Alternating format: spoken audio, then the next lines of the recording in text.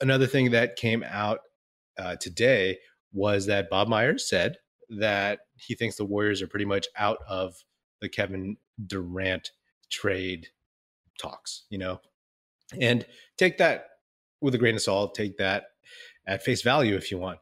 But I am breathing a sigh of relief, largely because, as you know, I prefer not to have Kevin Durant come back. I prefer to have the Warriors homegrown talent, the young guys grow together and see how they evolve. That's just how I am. That's what I think most pure, true fans really love to see because you really feel like that connection with these young guys coming in at like 19 years old and then seeing them progress and grow. It's it's you know, it's one of the best things to me about being a sports fan, a basketball fan, a Warriors fan in general.